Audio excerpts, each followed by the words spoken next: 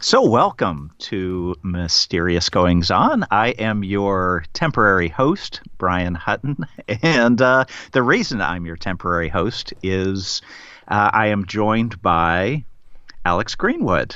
And so uh, I've turned the tables on Alex. He interviewed me earlier in the season. This is a season uh, really focused on creativity and so uh, I've turned the tables on him and, and wanted to interview him about his creative process and about the Pilate series of books, which are now celebrating their 10th year in publication. And so we're talking a little bit about some of the events that inspired some of the uh, some of the characters in the books, as well as his creative process, and then also announcing an upcoming John Pilate mystery that will be released here at the end of October on Halloween. So, welcome, Alex. Well, thank you, Brian. And I might say uh, you're doing a great job sitting in my chair. And uh, thanks. I'm having a lot of fun with this. I, and thanks again for the idea. Uh, sure. I, I, think we mentioned it last time. It's like I didn't go to Brian and go, "Hey, interview me." It's just you. He just organically said, "Well, look, man, I'd love to talk to you about what you're doing after we talked. So it's right. it's been fun, and and uh, I I also appreciate the listeners' forbearance because I tend to blather, but I get excited about these topics and just you know go. Sure. And there's a lot of it's been if you listen to the last week, it's kind of a rich tapestry of stuff that uh, went into the formation it, of the Pilate series. It is, and for for me, you know, having you know read the read the books, and I think a lot of the listeners have read have read the series.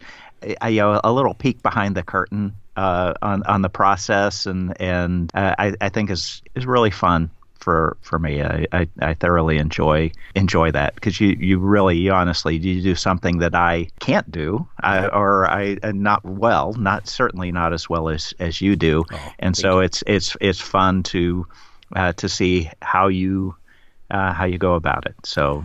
Well, thanks. It's it's it's really just a matter of, of practice. It's just I really do believe that you're born with a certain amount of innate ability, but mm-hmm. it's it's the practice. It's the uh, I'm not as glib as Gladwell in saying if you do it for ten thousand hours, you're a pro, but you, you, do it enough and you get better. So I thank sure. you so much. I appreciate that.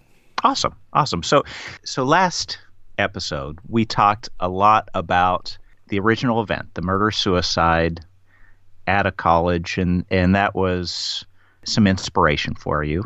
But strangely, that that event happened in 1950. Right. There was a a similar event, maybe not similar, but just as shocking to the university and to the community, event that happened much more recently. Yeah, it, I went to work at Peru State in 2003. I got hired by this very charming, very charming man. Uh, I got called up, as we mentioned in the last episode. I had a lot of things going on in my life, and I was ready to get out of town. And I had basically uh, applied for this job. I think it was on like Monster.com, and I got pulled okay. out of the stack on that and asked to come up. They they flew me up to interview. Wow. Uh, yeah, okay. from Oklahoma City to to uh, flew into Omaha, and then they the assistant to the president, lovely lady, she picked me up and drove me in, and and I met uh, with uh, this gentleman that evening at the Lied Lodge in Nebraska City, beautiful place, and uh, he he said, "I'm drinking wine. I assume you are too." And I'm like, "Oh, I don't know. It's kind of a job interviewee kind of thing to not do." He goes, "Really?" And he just looked at me, and I said, "Okay, I'll I'll I'll have a, I'll have some wine. How about a cab?" And so we, we both drank Cabernet. Talked. I was immediately charmed by this gentleman. Uh, he was mm-hmm, mm-hmm. fairly mm-hmm. elegant. He, he had a bit of an everyman thing going on, but uh, it was kind of under a veneer though of every man made good. Do that make sense? Mm-hmm. Dr. Ben Johnson. He uh, told me about his life a little bit and about what he's doing at Peru State, and basically what I learned that day, and then the next day when I spent literally all day in committee meetings, and it was like I lost my voice by the end of the day of all the people I had to meet, and I had to go do right. pan- panel questions. I don't know if you've ever interviewed for a job at a university. Sure, I, I, yeah, right on both uh, both sides of it. So I, I and I've I conducted some oh. when I was student body president. That's right. When they were hiring, uh, when they were hiring when I was in undergrad. Yeah. Right. So you know, and it's it's it's grueling. I but I Sure. I knew pretty much that I had the boss's seal of approval. Uh, I think by midday, it just seemed like the questions got easier, and as I fatigued, I was I felt good about it. But but I learned that this gentleman, he th- this school was in trouble. This school is perennially in trouble. I think it, like a lot of you and I went to an undergrad school similar to this one in Oklahoma, uh, a little more Right. accomplished, but similar in the sense that it was always under the gun with budget. People are always wanting to close it because it's liberal arts. And Peru State was a originally a pedagogical facility or institution, which just means they taught teacher te- they taught people how to be teachers. Um, then they expanded to a more liberal arts role, but they were always under the gun. And you know, we, we talked about last time about how in 1950 the school was an under the gun. Well, Right. they, Right. they brought uh, Dr. Johnson in a few like a year or two before me before I got there. So this was I don't know turn of the just a little after turn of the century I think, and he uh, he was already well on the road to to turning it around, and he was exciting and and he had an Uh-huh, energy about him, and I wanted to be part of it, and I wanted a job. And I wanted to get the hell out of Oklahoma, um, so it all worked out. I got offered No offense to Oklahoma. Well, it, the, it wasn't Oklahoma. It was just my circumstance in Oklahoma. That's Right, what I right. meant. But I remember I got the phone call when I got home, like the afternoon the next day, and he he it was Dr. Johnson. And he's like, I want to I want you to come work with us. We we were super impressed. Blah blah blah. And I said, um, well, can I think about that? Because I think you're supposed to think about it. You're not supposed to just say yes right sure. away. Sure. Yeah. And I told him that, and there was a pause on the phone. Uh huh. And I was like, "Is that okay?" And he goes, "Well, I I just assumed that you were as excited about us as we were about you." and I said, "Oh hell, all right, Doctor Johnson, I'll take the job. Can you, you know?" And we worked out some. He laughed, and then we. He, but he, he had me there. He was just really good, and um, Right. so I went and worked there. I was the his assistant um, on public affairs and marketing, and I did marketing and, and public affairs there, and his director. And um, as we mentioned last time, I was in the same building where all those murders took place. You know, thirty plus years before. Right. It was a great working relationship because I felt like I was truly his right arm in a lot of ways. Not for everything, but for those areas, he counted on me. He trusted me. Things went great. The first year, year and a half, uh, we instituted online learning, which most schools had not done yet. You folded that in, and our efforts, we had like a 19% enrollment increase. It was outstanding work. So it was really great. I loved the job. I missed my friends and family back in Oklahoma and stuff, but I was having a blast just getting paid to do something I was good at and meeting new people and just having a new experience, right? Sure. Um, which forms this basis for the Cross Township. You know, Peru, Nebraska becomes like the inspiration for Cross Township. So, Dr. Johnson, we did, there's so many things I could go into with him, but about a year and a half in, he just started turning a little bit. And I'd seen him kind of turn sour on other staffers. And I started noticing he was kind of digging at me and sniping at me about stuff that didn't make sense a lot of the time. It was like maybe I'd done something mildly wrong on something, but it wasn't like a job killer type thing, but it started to get more and more like that. And a little more, a little verbally abusive at times. And I was just like, wow. And I kind of talked to him. I said, you know, what am I doing? You know, and he would just, long story short, he, he would just kind of start doing the mind game kind of thing on me a little bit. I could see this because I'd seen him do it to others. And he started seeing people I was friendly with on campus and then started saying, I think you spend too much time with them. I think you need to not have lunch with them anymore. I worked really well with somebody at admissions and uh, you know, and he was he started implying that I was trying to do something with her inappropriate. He he started uh, that kind of thing. And and I was starting to feel very isolated. And I, I was a little fragile emotionally after going through all this stuff I'd gone through before I got there. Deaths, Right. a couple of deaths, uh, near death experience for myself, loss of status, loss of an election, all these things. And, and he and I was isolated. But add to that, yeah, you were you were also physically isolated, being in a very remote, very rural kind of atmosphere, away from all friends and family. Right. And literally isolated by the weather a lot. It- when it snowed up there, you well, you live in Chicago, Mm-hmm. right? I mean, you, you, you this was the first time in my life I'd experienced four foot snow on a regular basis. Right, And just right. and, and this little tiny town, you get socked in, you're socked in. And these are very hardy people who are used to this, but they, they just understand when it when the when the when the snow flies like that, we're stuck. Mm-hmm. Better have some stock food stocked up, or trudge down to the one grocery store that's actually about the size of a quickie mart, or maybe the Casey's, it's famous for pizza, and and, and that's it. And you, or and cell phone service was kind of spotty, and so the phones went down. You were kind of it just really was isolating. Right. And I just I started seeing him and looking back I noticed he was doing a lot of isolating things to me isolating my my relationships mm-hmm. my girlfriend who's now my wife came to visit and he was trying very much to talk me out of dating her and he wanted me to date a gal who worked at the foundation so much so mm-hmm. that he was mm. pushing me to ask her out and I just couldn't do it I was she was very attractive very nice but I had nothing to in common with her, but he was pushing right. me constantly, and he was like, "Oh, well, you know, Stephanie's nice, but you should talk to, to you should you should start dating this other person." I was just like, "Right." Okay, hmm. but he'd do it kiddingly, but you know, when your boss is kind of there and he's becoming less a boss and more kind of a king to you in a lot of ways because he has all right. this control over your life and all this. So that kind of behavior, and he would say things to me about other people, and he, I'll never forget this. He once told me we had a lot of time together in the car or just in the office or whenever, or we'd go out to dinner every now and then. I'd say, "Oh, it's a shame about so and so being moving on." Uh, somebody who ostensibly either quit or got let go, and he said, "Well, you know, I'm of the mind that people are like newspapers, and when you're done with them, you just throw them away." and, and, then he kind of had a little bit of a rueful laugh, but I don't think it was. Right. I don't think he was trying to be funny. And right, I right. was like, "Whoa, okay." But by the same token, everything was going great for the school everything was we were mm-hmm. achieving and the, the, the, school's budget pressures were going away and the state the senator he was the darling of state senators and and people talking about oh this is the guy who gets it he saved the school and he, he created some brilliant stuff. And i can't take that away from him. I cannot take away any of those achievements from him. I can't because he did some things that put peru state on the map. He was a visionary about online education.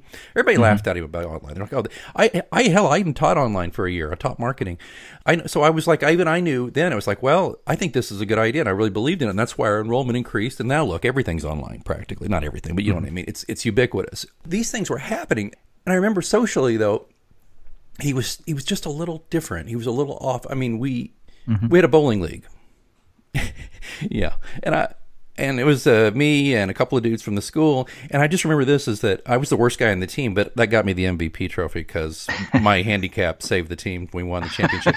but I remember like would you get a strike and you would do a fist bump mm-hmm. to everybody. Ben really hated that. Hmm. Dr. Johnson did not want to fist bump anybody. And he said repeatedly, "Why do we have to do this?" And he, he was irritated. Mm-hmm. I think it. Mm-hmm. There was something about it that bothered him and I, I, don't even know what that means. I just remember that. I, I, looking back, I realize how inappropriate some of this behavior was. Right. Receiving right. gifts, like he'd give me, like he he loved to collect uh, watches, timepieces, nice ones. He'd buy them on mm-hmm. eBay and stuff like that. And I always liked good watches, but I didn't really have any good watches at the point. point, and he gave me like a couple, and I just was like, mm-hmm. "Well, thanks. I can't accept this, but thanks." And he's like, "Oh, of course you can't take it." So he would do okay. all these kinds of things. I, I'm trying to just kind of lay this out for you a little bit to let you know where he was. So he he had his really great side. I hate to be so glib as to say Jekyll and Hyde, but it was very much. But after about mm-hmm. a year and a half, it just started to get worse. I just remember he was brittle about anybody getting more attention than him on anything, which is also kind mm-hmm, of a mm-hmm. not a good thing for people with certain personalities. Right. We were at a, a, uh, state college meeting, and it's the meeting of the three colleges. Peru's one of them, Wayne State and Chadron, and the other two. And as I recall, we were in a committee meeting or something, but um, somebody, a third party who didn't work at Peru, looked at our enrollment numbers and our marketing and said, "Oh my gosh, we're gonna have to steal Alex Greenwood away from from Ben." right. At, that was it.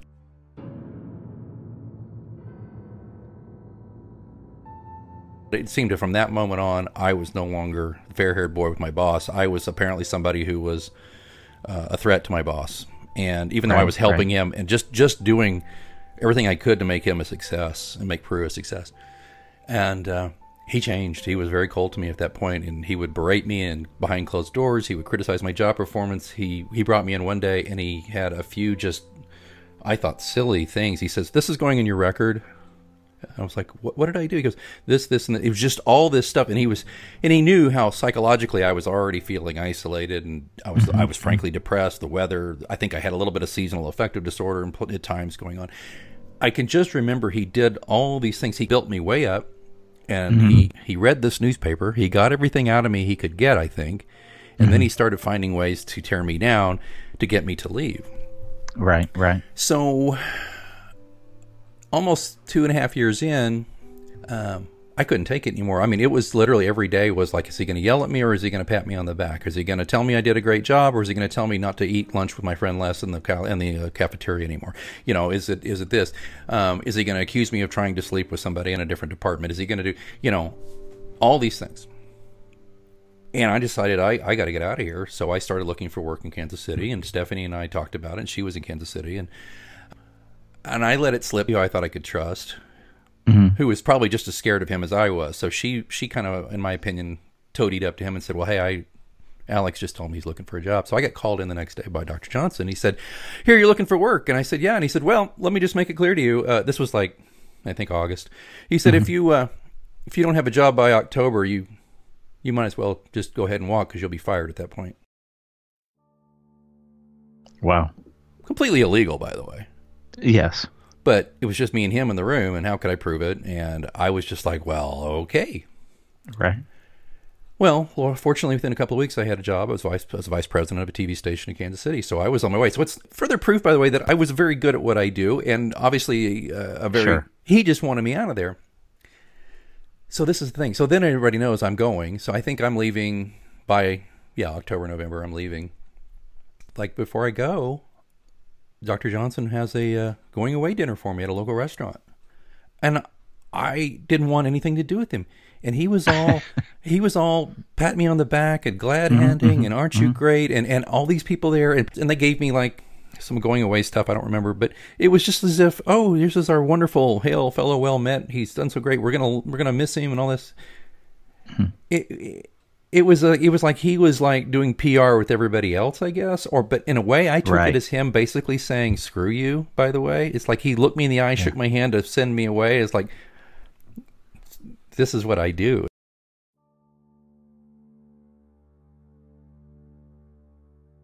Right, right. I found it was very creepy. So, what year was that? That was late 2005. Okay. Okay. So shortly after that, now there are th- some things right going on in the background. Right. Well, so I go away, and I'm the TV station, and that's 2005, and I hear some things here and there, and then I hear that oh he's going to retire in 2008, and he retires in 2008, mm-hmm. and I think well, you know, you know, son of a gun, he he did some things I don't really appreciate, but you know what? Ultimately, he's complex personalities are often incredibly good leaders, and he did a really great job with the school. And uh, it's a chapter of my life that's over. It, it, was hurtful in a lot of ways because I, I, I made friends for life. I thought there, and I thought I'd done such a great job, and I was liked. And it took me a lot of years to realize that all those things were true, and that this wasn't about me. It was about him, and to a large degree. I mean, I wasn't perfect, but you know what I'm saying. Sure. So I'm hearing that he's consulting, and he's he he'd raised a lot of money for the school, so he had had kind of a been given a really nice role with the uh, foundation uh, mm-hmm. to raise money. I think he was getting a well, we'll find out. He was getting um, a nice compensation package. It was kind of a deferred con- compensation package and some stuff like that. Right, that, right. that, by the way, now is illegal in Nebraska. Anyway, so we get to around uh, spring of 2010, and uh, somebody who I used to work with at Peru calls me and says, "Are you sitting down?" I said, "Yeah, I'm sitting down to lunch. What's up?" She says, "Well, I just need to tell you something. Ben took a job in uh, at a university at Fair, Fairmont. Yeah, at Fairmont State, and uh, it was just announced in March. And I'm like, "Well, that's that's great." And this was like late April or early May, and mm-hmm. I said, "Well, that's great. I, I I expected he would take more jobs, although he was getting up in years, and I don't know why, but you know, I mm-hmm. guess he needed the money." And she said, Well, the attorney general of the state of Nebraska has been looking for him and uh, filed some. I basically was going to file an indictment, and uh, uh, Ben took his life. Ben took his own wow. life. The press release at Fairmont State said that he accepted the job in March of 2010, and by April, back to another April date, mm-hmm. Mm-hmm. just like 1950, Ben Ben basically what was happening was they found out he had been embezzling. Um, right. And right. I don't I don't So that was the bookstore funds, correct? Right, bookstore funds and he had been I mean, and I'll just say it, this is from the Lincoln Journal Star. The former president of Peru State College apparently used about $43,400 from a university related account to pay personal bills, state auditor mm-hmm. Mike Foley said. uh, who Ben Johnson, who left the college in 2008, also didn't reveal a felony conviction and misled college state college leaders about his previous employment when applying for the presidency at Peru.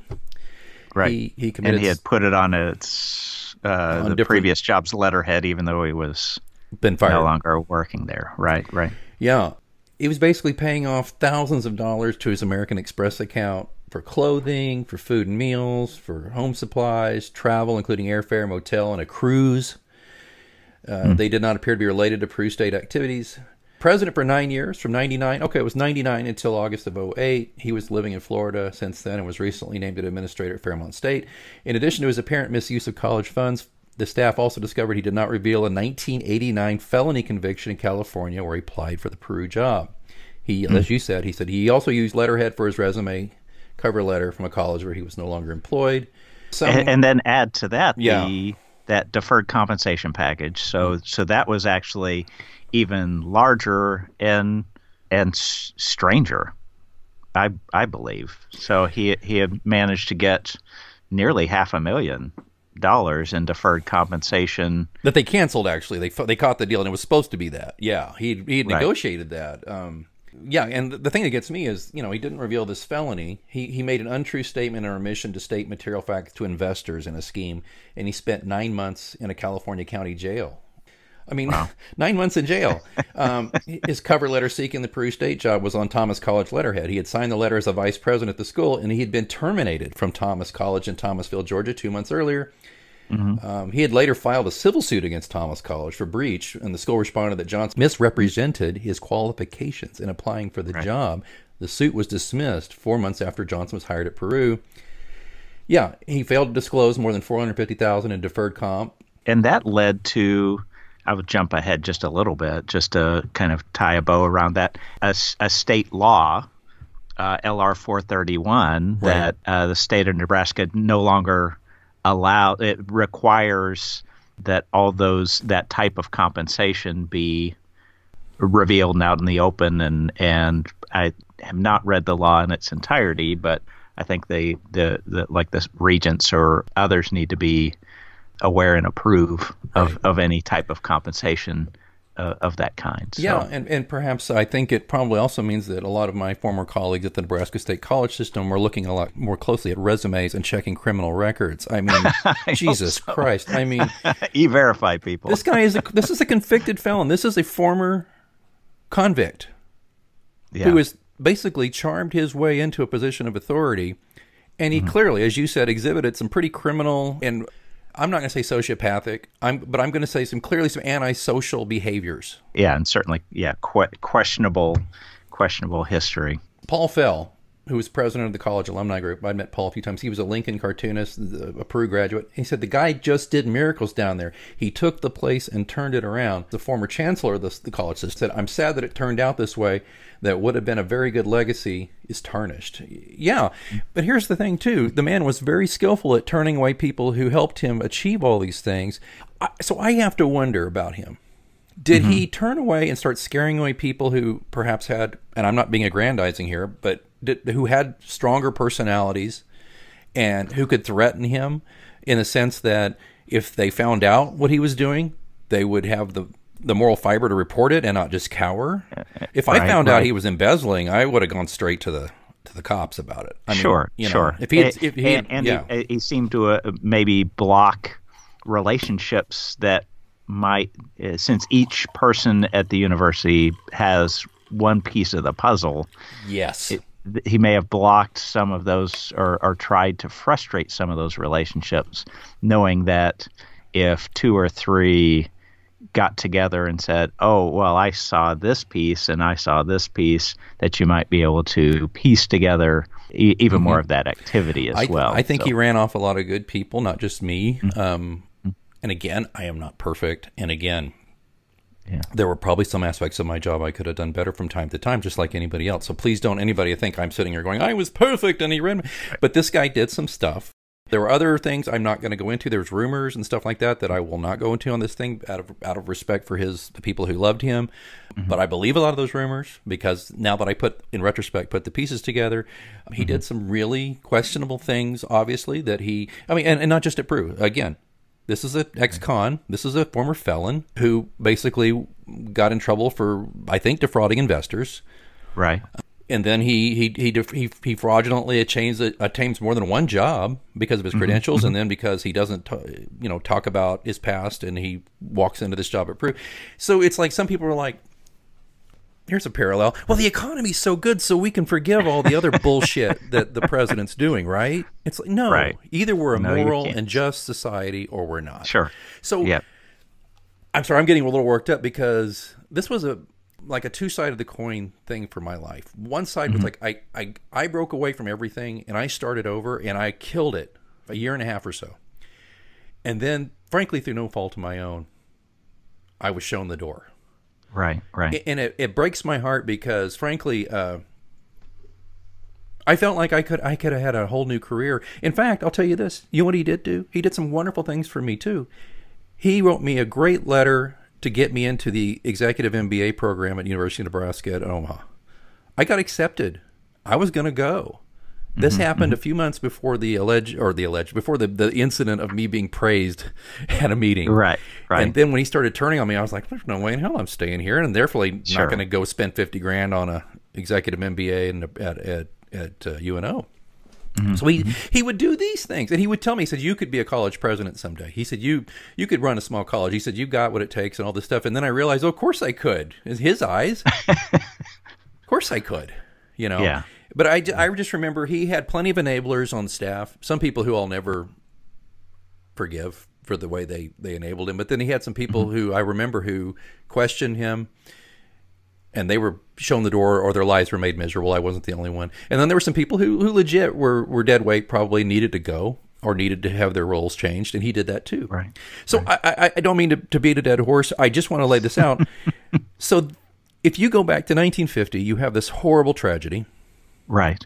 where somebody who's got issues goes in a very bad direction. Then you go all the way up to 20, uh, 2010. 2010. So you got you got 60 years here, a span of 60 years where it ends. There, the punctuation is sad, and sadly, the punctuation or these things are, are gunshots. And Right. listen, as much as I despise a lot of the things Ben did to me and said to me, and the hurt he caused me, I believe it or not still have a lot of respect for his achievements and uh, and I have I have love for him in some ways because there were he did no matter what at the ultimate end he did help me kind of get to where I needed to be at that time in my life and and introduce me to some other wonderful people.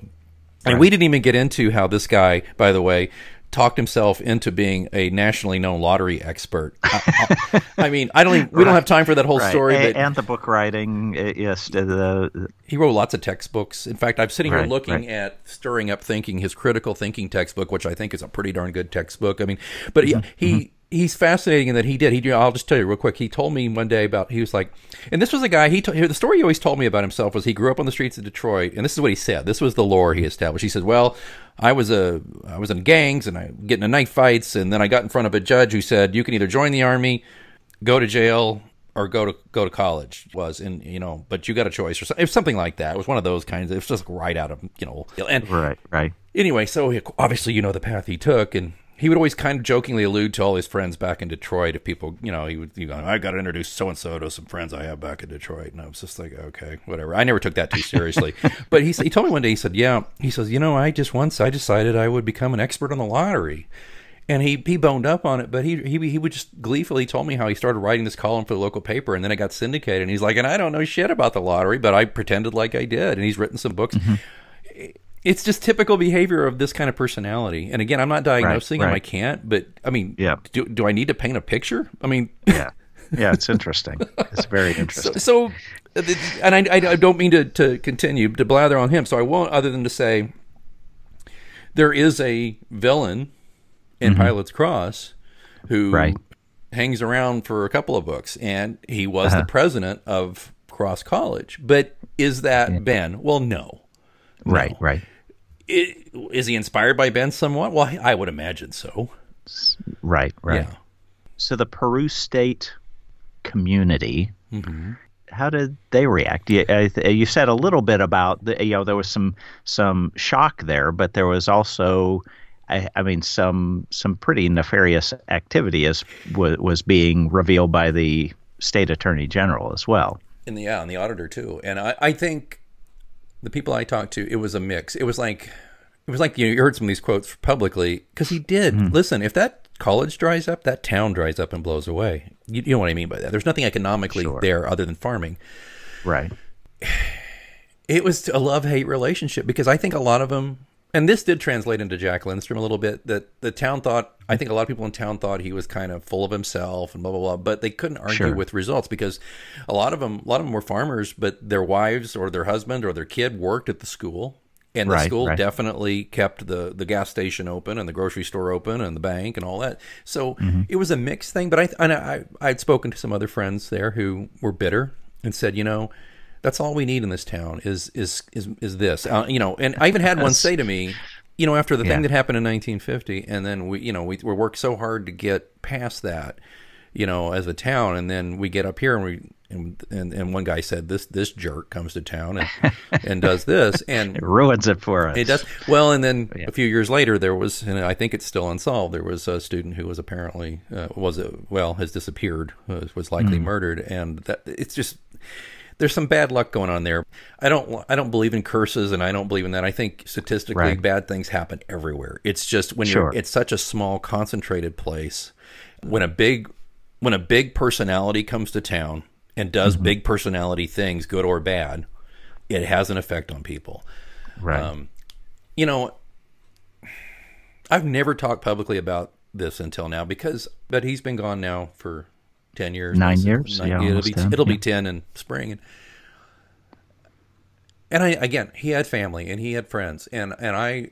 I hope if they're listening to this, they don't think I'm trying to be malicious. I, I, I held my tongue for a long time, but the man did hurtful things. And Right, we all right. do hurtful things in our lives, but he did hurtful things that legit could hurt, that hurt people's careers, that Mm-hmm. mess with their their brains a little bit. So I just felt like I should say it, and I hope anybody who wants to defend him uh, feel free. I don't really want to argue about it. It's how I feel. Right, right. I'm not saying anything here other than my own experience that isn't verified in the newspapers. I, I went and visited there a few years ago on my way to a book signing, and I ran into a few friends. It was great. I hope though that people, when they see his achievements, like the little schoolhouse he re- remodeled, that was one room schoolhouse. He he had this whole. Pro- he moved a schoolhouse to campus, and because it was a teachers' college, and he redid the school. It was beautiful. I hope when they look at the ARC, the Academic Resource Center, which is just the jewel of Southeast mm-hmm. Nebraska higher ed. I hope when they look at that, they'll think fondly of Ben because I, I try Right. to. I try to. I mean, it's obvious listening to this interview, I have mixed emotions, but Sure, you, can't argue that he did some damn good things. Well, that's good. That's good. And I think we're all I we're all multifaceted as people. And all of your characters is maybe a, an interesting segue into antagonists. All, Yeah. all of your characters are multifaceted. No one is all, or very few, uh, all bad Yeah. or all good. We're all struggling with our past in internal demons and, and those type of things. So speaking of antagonists, mm-hmm. who's your favorite? Oh wow!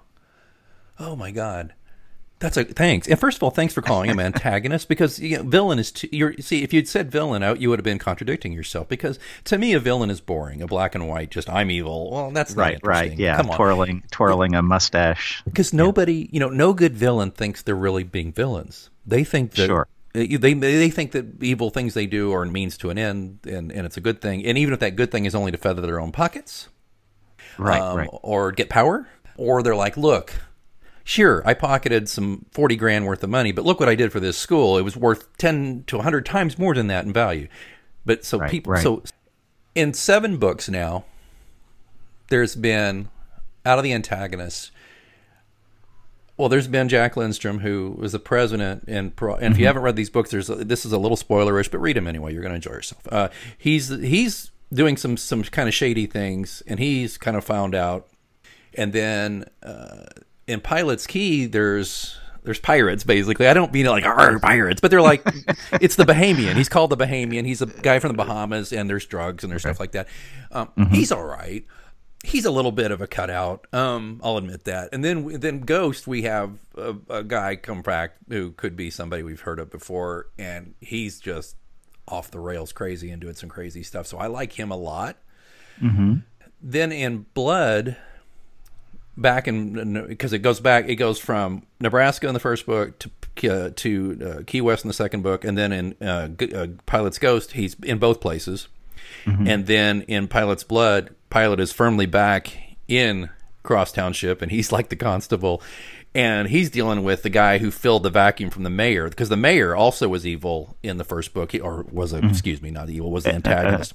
Uh, uh, right, right. And he he, but he ended up. I'll just say he ends up gone. But but there, uh, uh the vacuum is filled by this guy who's related to him. He comes in from the, the Minnesota mafia, and and I like him a lot because he's very nuanced. He's a businessman. Mm-hmm. His name is Hilmer Thurman. I like him a lot. He's probably the least God, I don't want. Uh, I'll use the word. He's probably the least cartoony of the villains. And when I say cartoony, I don't mean like, oh, haha, these are terrible villains. It's just, or the, or here I go. I called him villains, antagonists. But he's, but Jack Lindstrom is like, okay, clearly, you know, businessman does some things that are shady, blah blah. blah. Then you got the you got the drug dealer in the next book, and then you got this shadowy guy who has connections back to Pilate's Cross, and then you got the Hilmer Thurman who's filling in for the mayor who who was taken out in Pilate's Cross, and I like him. There's a scene where Pilate and him meet at like this. There's this rib joint that's being run. It's on the edge of town. It's the Rib Shack, and or maybe it's at the Brown Betty Bar. It's at one of these places, and they're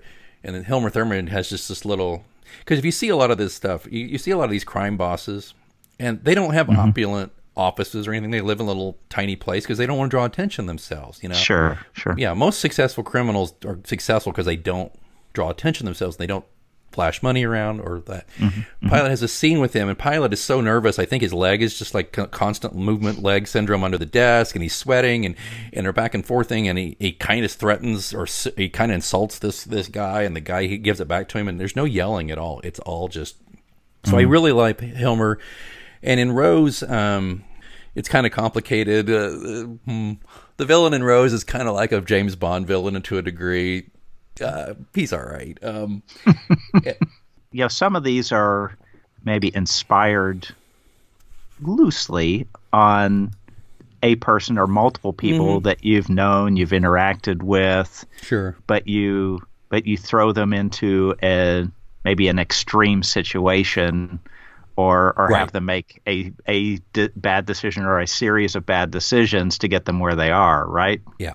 Exactly. So so so given that, you know, has anyone that's ever seen a, a bit of themselves in those characters been offended?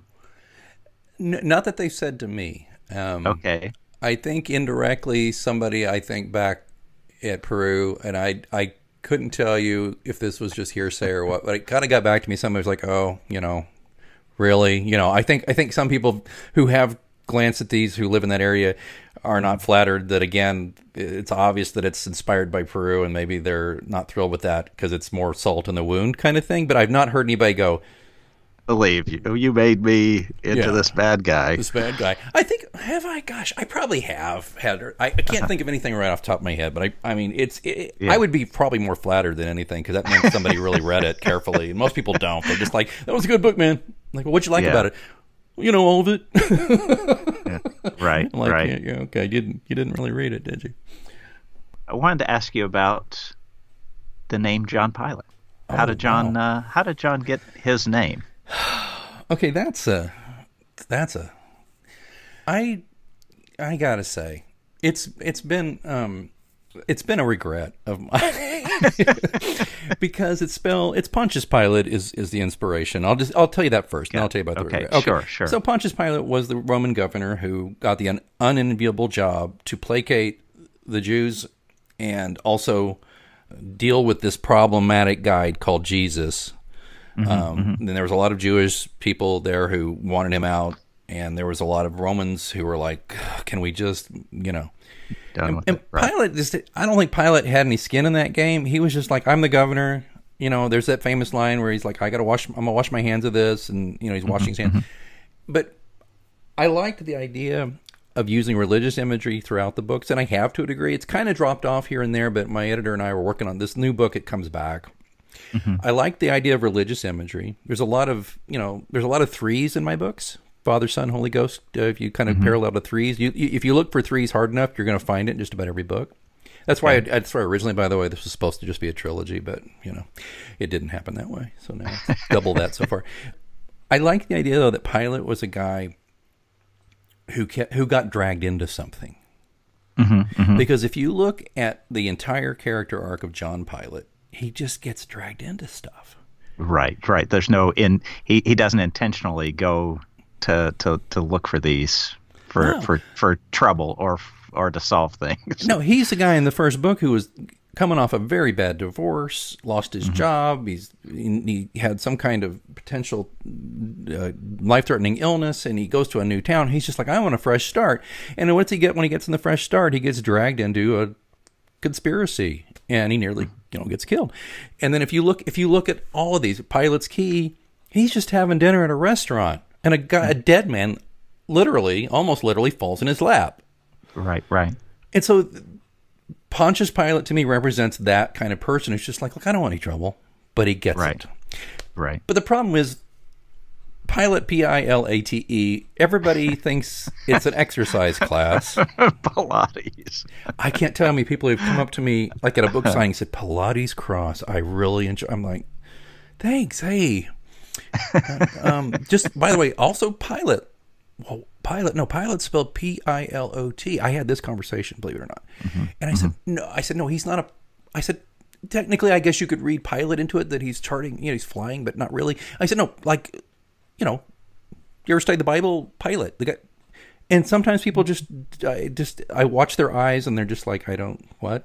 But it's fine. but I got to the point where on the John Pilate Mysteries Facebook page, I even put on the About section, I said, just to be helpful, it's pronounced and there's a little pronunciation key. Pilot. Yeah. Yeah. It, it, and I, it's been, a, it's been that, but you know, what am I going to do? I can't change it. Um, Right.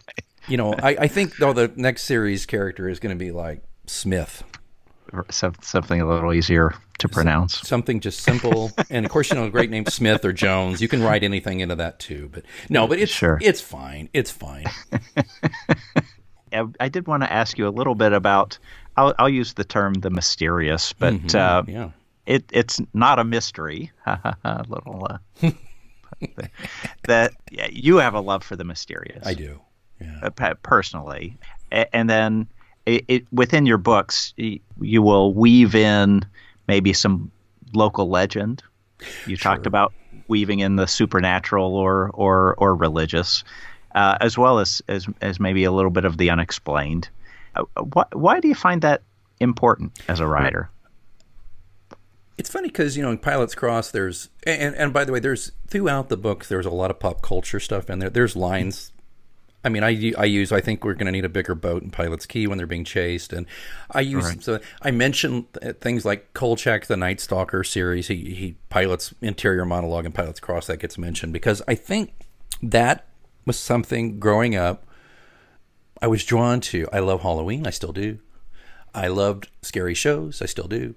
Mm-hmm, mm-hmm. And I think it was something that my mom actually kind of didn't have a problem with me getting into.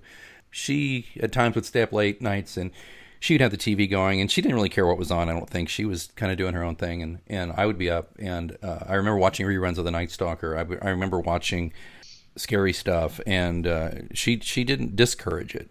And but I've always also just thought God, life is so much more interesting um, when it doesn't play by the rules, right?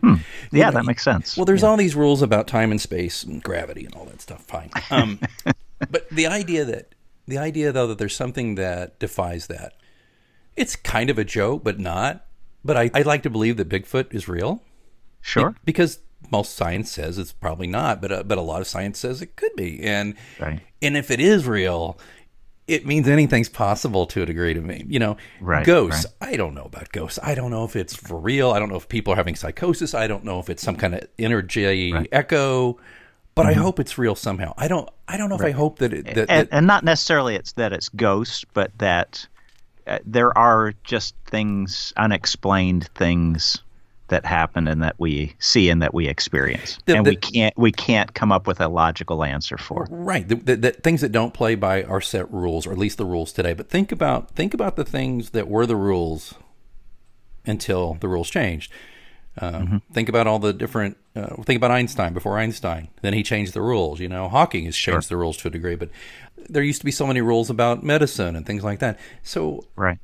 I like that idea, and I, I don't put it in Pilate series much. There's a touch of it, but I do talk about it, and I do couch him in sometimes those situations, those kind of dark situations. Or one of my favorite things I ever wrote was kind of a rundown of all the the weird stuff about Key West, like in the first or second chapter. Yeah, uh, and so that was one thing I wanted to to maybe dive into is is so e- each of the books I I think you you will throw John into a local area mm-hmm. and then weave in some local legend that may i if nothing else i i- add color to to the conversation and add a, a- kind of a mental visual to what the people are like in Right. an area.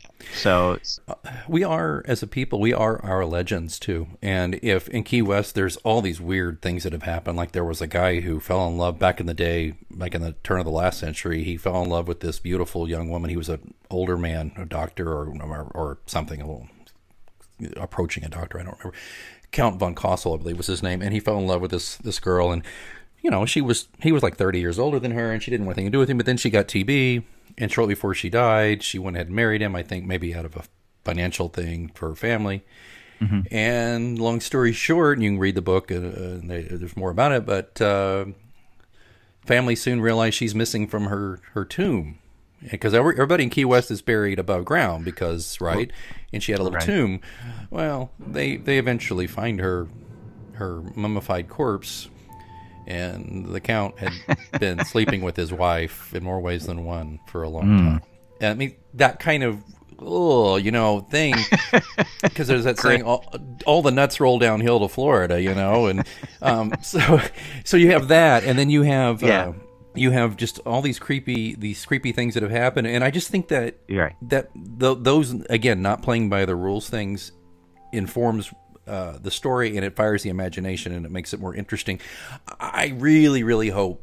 That, that life is more interesting than it than, than, daily life because daily life Yeah. is boring and daily life is not interesting. so so for for the books, do you put John in an interesting locale and then research the legends, or or or or, or does a legend that you stumble upon inspire you to to have Pilate travel there? Well, okay. Cross is kind of an obvious one. I stumbled upon, and I, and Right. and I also lived there, and I I, I Sure, I, sure. I, have always been intrigued by the small town mystery and creepy you know thing. Um, Right. But Key, as I mentioned last episode, my Mm-hmm. wife and I uh, spent part of our honeymoon there in Key West. And so then I, I, I, but I took a tour there and I got to know the place. So it was kind of Sure, both. sure. And Right, then so right. Ghost that covers Ghost. Um, but then in in uh, Rose, Pilate's Rose, Jamaica, which by the way, Mm-hmm, Sure. you were with me on the trip to you, I- our I- families. I, I was indeed. yeah, so that was there. So then I I did do a little bit there, but um, I got a, I got a little over my skis with that one, and I was really trying to really flesh it out and make the Jamaica parts bigger than it needed to be. And my editor saved me because that Rose was a torturous book to finish for me. It just it wasn't going anywhere. And uh, so we- we got through that. So I think that's the case. And the next book, which we'll mention before we go, is coming out on Halloween. It takes place totally in Key West again. The good news is I had recently visited Antigua. And and uh, I've got some other places that I've on my list, so uh, Pilate will probably go to some of those places too. Interesting. So you you mentioned uh, an, another potential uh, Pilate book after this. Mm-hmm. Uh, I, I mean, do you see a like a finite end book I do. for the Pilate series, Yeah. or or or would you just kind of stop writing when it stops inspiring you? I, I would hope I would stop if it was just getting really terrible. You know, like if, mm-hmm. if it was like, oh my God, he's just ticking the boxes and blah, blah, blah. And I was afraid that was happening a little bit, to be honest with you, with Rose, because I was really kind of really forcing it because I hadn't put anything out in a while. And I literally have a couple of fans who contact me and say, I have one lady, Miss Tony, she calls hmm. me about every six months, when's the next book coming? She's, she's got my number. Oh, wow. Yeah. So that, I mean, so I was like, oh, I got to get this done. But I was, I don't like the term blocked. I just, I just felt like I was having an imagination deficit, and I was feeling like I was like, uh, I don't have anything more to say here. But anyway, I've got a number in mind, and we're halfway okay. through. Um, basically, we're getting over the Terminator to the next ha- second half of the series. At the rate I'm writing these, though, I'll be in my, I'll be just into my 60s when I'm done. Okay. And I think by then I, it probably will be a good time. But Pilate kind of ages with me. He's a few years younger than me, but mm-hmm, but he's mm-hmm. gonna he ages as we move along here. He doesn't say the same age, and but I'll, I'll, make a promise to readers: if it really sucks, I won't put it out. And if it and if, then if I keep putting them out and people just stop reading them or, or reviewing or commenting, then I'll know. Sure, I'll know. Right, Some, somebody right. will let me know, and they'll uh, they'll they'll uh, they'll take me out behind the woodshed and do that last act that I need, you know, with yeah. the with the one bullet type thing, and say, good good dog good dog. Bye bye awesome. So uh, with with your upcoming book. Yeah. So it's coming out on on halloween. 2019 right. So is there anything else about the the plot the location that you'd like to share early just to let you know, the book. Let me just tell you what this is. Just this is a way we were going to do a big omnibus edition. We're going to put a two-volume printed set of everything, including this new mm-hmm. adventure, mm-hmm. together. And it was purely a dollars and cents thing, where it was going to cost me a lot to put it together. And I still want to do it someday, but I just mm-hmm. want to wait um, a little bit longer, maybe our ten or twenty years after that. Yeah, maybe when we're finally done with all of it, I'll put out a big slipcover, mm-hmm. you know, mm-hmm. multi. But I, I had a great friend. He's a fellow author. He also helps with uh, my ideas when I get dry, and he helps. He does great book covers for me, Jason McIntyre, and he and I were talking, and I said uh, I want to do this omnibus, but I just can't pull it all together, and it's going to be money that I'm not sure I have, and I don't want to do another Kickstarter like I did for Pilate's Ghost, which was very successful, but I just I'm at a point where it's just like I don't want to have hat in hand and expect people to, you know, money's tight for people, and I don't want sure. people to feel boxed in. So, because if people want to buy my stuff, they can buy it. So he said, "Well, how about this? Why don't you just take the new story because I'd got the new story done, and mm-hmm. it was not quite a full book; it's a novella size, you know. Okay, it's several thousand, you know, it's it's up there, but it's not a full. It's not like the usual sixty thousand word book at all. It's like about a you know 15 uh-huh. or something." Why not tuck that in at the back of the last Pilate book of, of Pilate's Rose and call it a 10th anniversary special edition? And ah, nice. feature, featuring the new story, which, by the way, is called Pilate's Shadow. Ah, very nice. Yeah. Very nice reveal. Yeah, thank you very yes. much. Thank you. Uh, thanks for setting me up on that. And um, Pilate Shadow is going to be at the back of Pilate's Rose. So what's going to happen is um, it's going to be out by the time you hear this. It's going to be available on Halloween, and mm-hmm. it's paperback only. Okay? okay. So if you go to Kindle and buy Pilate's Rose on Kindle looking for this story, it's not going to be in there right away. Okay. I'm in fact will probably only release this special edition probably as a print only. I would like you to buy the paperback. Um, okay. Pricing everything will be on Amazon. Uh, there'll be uh, there'll be an announcement on mgopod.com um, before Halloween about that this ebook, the ebook version of just this story will come out probably next year. So if you want to wait, but I'd rather okay. you didn't. And it's not a guarantee, by the way. So you want to buy right, the right. you want to buy the book. Okay, buy the book. Pilate Shadow though is Key West, but it's it's like it's it's a tiny portion of Key West. It's a it's a it's a very intimate story with Pilate. Mm-hmm. It catches up within weeks of the ending of Pilate's Rose, which, as we all know, if you've read Pilate's Rose, Pilate's Rose ended in a strange spot where you weren't sure whether he was going to live or die or, or come back or not. Obviously, he does. John does. And we meet a new antagonist. Mm-hmm. And I don't want to give too much away. Um, it's a quick okay. read, but I, I, I, want you to know I'm very proud of it. And I think that if you're a Pilate fan, it's it's must read. It's must read. And if you're not a Pilate fan, it's still a damn good read, in my opinion. Oops. awesome. Awesome. So, want to again thank you for uh, uh, you know for letting us letting me turn the tables and letting uh, letting. letting are you kidding me? I should pay you for this. take, thank take you. A, uh, take a little peek behind the scenes and uh, Yeah. you know your your your process because uh, uh, but it's very interesting. I mean, you know, it's very uh, you know, it's. I- I think there are some parallels to what I do on the product side, but Yeah. but but also some you very unique things that that you do. Well, I appreciate that, and you know, because I understand your process. And if you haven't listened to the episode with Brian, go back. It's the uh, restaurant's Invisible Man. Ultimately, process is inspiration, just like you, but then it's also what you do. It's get your butt in the seat, and like for for you, it's sketching or whatever you do and research. For me, it's research. It's writing, butt in seat writing. I have so many writers like, oh, I want to do this. I have a book in me, but blah blah blah. I'm like, well, you're never going to get it done unless you get your butt in the seat. You turn off the noise and you just write. So that's what I do, and I am this is one of the few times when I'm be, ever being interviewed. So I just want to say this to everybody. I'm deeply indebted to all of you, all of you readers, all of you listeners to this show. A lot of you listeners to the show probably don't even read the books. I know a couple of you don't or haven't. Hope you will. But the thing is, I'm deeply indebted to you because, um, uh, like my grandfather, you know, he never had great riches. He had success as a writer, and I've had some success, but I don't have great riches. But that's not really why I do it, and that's not a cliche. It's true. I do it because I, I like to express myself. I like to entertain other people, um, and you just you all make it really worthwhile. And uh, as long as you're reading, I'm still writing. Awesome, awesome. So again, t- 10th anniversary of uh, of the Pilate series and the new book, Pilate's Shadow, coming out uh, in paperback on uh, on Halloween, October 31st, 2019. Very scary, kids. Yeah, thanks again, Alex. And it's, uh, as always, a pleasure to speak with you, and I've, I've thoroughly enjoyed it. So until next time, you'll be back in this seat. Keep reading.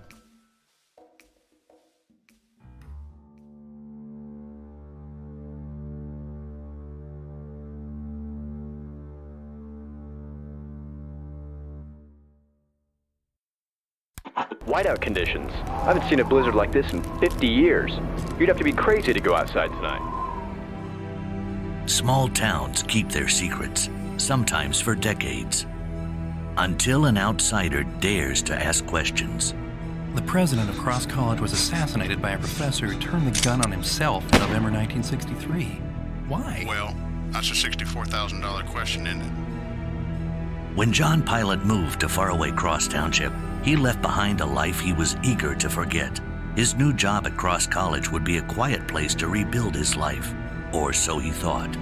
Sometimes small towns reveal more than secrets to outsiders, and what was meant to be simple can easily become complicated. John, I want to be with you, but I don't think you're going to stay in Cross for long. And a mystery can be as powerful and irresistible as love. There's something going on here, and it's all tied to the murder of the Cross College president in 1963. John, it's not your concern. You really don't fit in here. For your own sake, get out of Cross while you can. And Pilate may self destruct on his own if his imaginary pal Simon gets his way. Why not end this? Escape this veil of tears, shovel off this mortal coil, take the dirt now. Of all the imaginary friends in the world, I have to get the psycho who wants me dead. Everyone needs a hobby. The small town of Cross gets smaller as Pilate zeroes in on the decades old conspiracy. What happens to a person's ashes if nobody claims them? and makes himself a target. Ultimately, this outsider will have to survive the elements, outsmart the conspirators, and overcome his personal demons.